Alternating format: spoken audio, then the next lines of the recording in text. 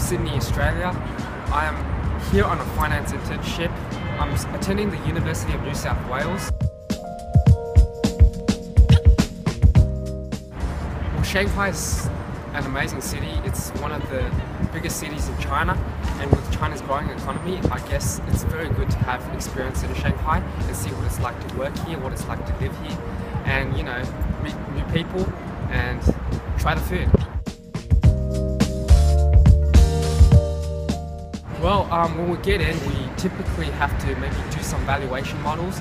Our boss maybe sends us some work. We might need to do some research and work on some presentations on companies and research their industry.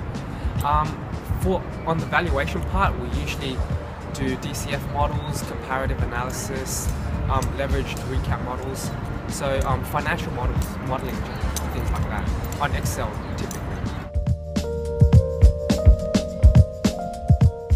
Living in Shanghai, you get to experience the culture, the city, and basically, although it's crowded and traffic is bad, you can get everywhere very easily. I mean, the metro is very fast.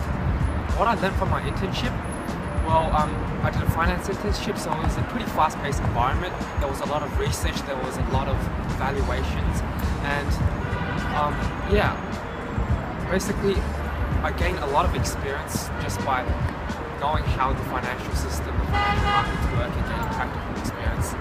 Um.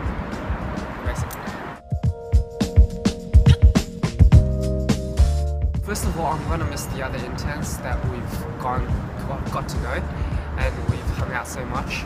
Um, I'm also going to miss the city and its very unique culture. It's a mix of Western meets Oriental sort of city and I'm going to miss that a lot and I'm going to miss the nightlife of course.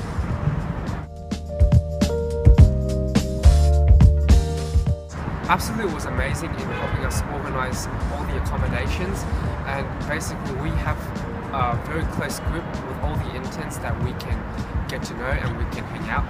And they showed us around the city and they let us know all the hotspots of Shanghai, the nightlife and other tourist areas and basically introduced us to the culture of Shanghai. So it was a great um, support network that they helped us establish.